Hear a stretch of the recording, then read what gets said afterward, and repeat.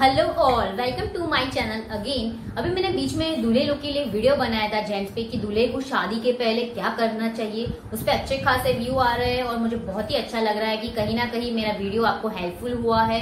तो मैंने बोला मेरी गर्ल्स भी क्यों पीछे रह जाए? और वैसे तो गर्ल्स को सब भी पता रहता है गर्ल्स स्मार्टी होती है। पर ऐसे इसमें मैंने बहुत सारी चीज़ें इंक्लूड की है जो उनको भी जानना ज़रूरी है। तो मेरे गर्ल सब्सक्राइबर वीडियो पूरा देखना, कि उसमें खास करके मैं आपको बताने वाली हूँ कि आपको शादी में इमरजेंसी किट भी लेना चाहिए। तो गर्ल सब्सक्राइबर पूरा वीडियो देखना, सभी देखना, और अच्छा लगे तो लाइक कर देना शेयर कर देना। और नए है तो सब्सक्राइब करना भी मत भूलना। फ़र्स्ट पॉइंट क्या है कि आपको अच्छा अच्छा खाना खाना है और पीना है। जैसे कि हमें ये सब टाइम में एक महीने से पहले ही हो सके तो सब जंक फ़ूड को टाटा बाय बाय कर देना है थोड़ा टाइम के लिए। मैदा हो गया, हमारा पिज्जा बर्गर हो गया, क्योंकि ये सब चीज़ें हमारे पेट में गड़बड़ कर देती है कॉन्स्टिपेशन हो जाता है और स्किन में भी पिंपल्स आ जाते हैं। तो ये सब चीज़ें नहीं खानी है। उसके अलावा आपका चाय या कॉफ़ी का जो इंटेक रहता है, बहुत लोगों को आदत होती है कि दिन में एटलीस्ट दो बार तो पीते हैं। तो हो सके तो उसको एक ही बार सुबह ही करिए, क्योंकि ये सब चीज़ें भी हमारी स्किन को डल करती है। उसके ऑल्टरनेट आप फ्रेश जूस घर में बना के पी सकते हैं कोकोनट वाटर पी सकते हैं, और उसके अलावा ग्रीन टी भी पी सकते हैं। ग्रीन टी से भी हमारा वज़न मेंटेन में रहता है। कहने का मतलब है, आप अच्छा खाइए और पीजिए ताकि शादी तक आपका वज़न भी अच्छा रहे और स्किन भी और ग्लो करे। शादी में चेहरे के साथ साथ बालों का खूबसूरत दिखना ही कितना ही ज़रूरी है। और खास करके जब हम हनीमून में जाते हैं तो अच्छे अच्छे खुले बालों में अगर पिक्स निकालेंगे तो कितना अच्छा लगेगा। तो अगर आपको कोई हेयर रिलेटेड इश्यूज़ है तो उस पर खास ध्यान दे। हेयर को पे ऑयलिंग करे मसाज करिए। और अगर आपका बजट अच्छा है तो कोई हेयर स्पेशलिस्ट को कंसल्ट करके वो ट्रीटमेंट भी ले।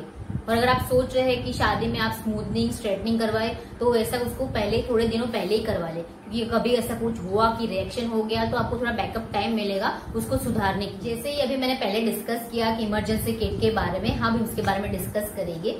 पहले तो फ़र्स्ट एंड इम्पोर्टेंट किट में क्या रखना है? आपको सेफ्टी पिन रखना है। वो तो सब गर्ल्स को पता है, क्यों मैं बोल रही हूँ कि कुछ ना कुछ हो गया, दुपट्टा हो गया ब्लाउज फट गया तो उसके लिए हमें हमारी तरफ़ से एक्स्ट्रा पिन उसमें रख देनी है। अभी नेक्स्ट उसमें है कि हमें सैनिटरी पैड रखना है। बहुत बार ऐसे होता है कि अभी शादी में स्ट्रेस बढ़ जाता है, हमारा एंग्जाइटी होती है तो उसके कारण भी ऐसी पॉसिबिलिटी बढ़ जाती है कि हमें जो हमारा डेट नहीं है, फिर भी हमें पीरियड्स आ जाते हैं। तो आपको, आपके सेफ़ के लिए आपको सैनिटरी पैड भी रखना है उसमें। उसके अलावा आपको बैंडेड भी रखना है। क्योंकि शादी में क्या होता है, जब शादी के जो हम शूज़ खरीदते हैं, वो उसी दिन पहनते हैं। तो वो नए हैं तो हमें पता नहीं है उसमें शू बाइट होने की भी पॉसिबिलिटी होती है। तो इसके लिए आपको बैंडेड भी उसमें रखना है, ताकि अगर शू बाइट हो तो आप उस पर कवर कर पाए। और अभी नेक्स्ट उसके अलावा क्या है कि बहुत बार कांच की कोई बैंगल्स भी कोई पहनते हैं तो कभी अगर वो टूट गई तो आपको खून भी निकल सकता है। मीन्स ऐसा कुछ केस आपको, ऐसे पॉसिबिलिटी आपको समझा रही हो, ऐसा हो सकता है तो उसमें आपको एंटीसेप्टिक क्रीम भी लेना है, ताकि अगर कुछ ब्लड निकले तो आप उसको लगा सके।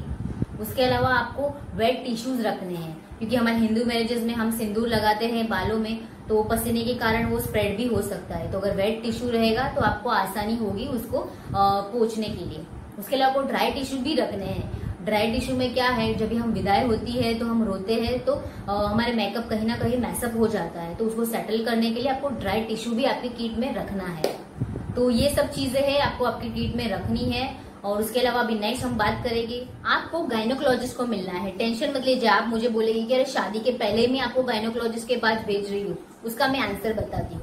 एक्चुअली क्या है? बहुत बार बहुत लेडीज़ को ये सब चीज़ें के बारे में जानकारी नहीं रहती प्रेगनेंसी के बारे में। उसके अलावा बर्थ कंट्रोल पील जो रहती है, उसको कैसे लेनी चाहिए? कैसे हिसाब से लेनी चाहिए? अभी हम कब, कभी ऐसी ज़्यादा पॉसिबिलिटी है जो हम कंसीव कर सकते हैं? ऐसे बहुत सारे प्रेगनेंसी रिलेटेड इश्यूज़ रहते हैं जो हमें गायनोकोलॉजिस्ट के साथ शेयर करने चाहिए।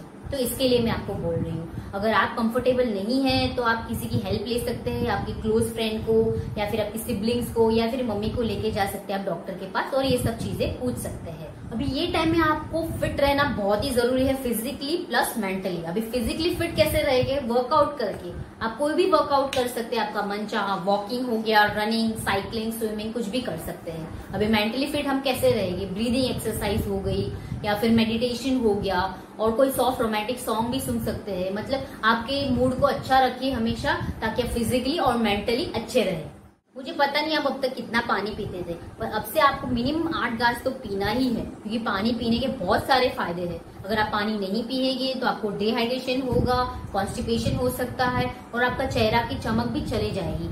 बहुत सारे सेलिब्रिटीज जो है ना, उनका वन ऑफ़ द रीजन क्या है, पता है चेहरे का ग्लो का? वो ज़्यादा पानी पीते हैं। तो इससे आपसे आप आदत डाल दें। मिनिमम आपको एक ग्लास पानी तो पीना ही है। ओके okay फ्रेंड्स मैंने ट्राई किया है सब पॉइंट्स कवर अप करने के लिए कि आपको शादी के पहले कैसी तैयारी करनी चाहिए। अगर गर्ल सब्सक्राइबर आप नए हैं तो जल्द से जल्द सब्सक्राइब बटन को दबा दें ताकि ऐसे यूजफुल टॉपिक आप कभी भी मिस ना करें। और साथ ही मेरा मेन सब्सक्राइबर अगर आपके रिलेटिव भी कोई है जिनकी शादी होने वाली है तो उन्हें भी आप शेयर कर सकते हैं। और लाइक कर दे अगर अच्छा लगा है मेरा एफर्ट तब तक this Geeta signing off bye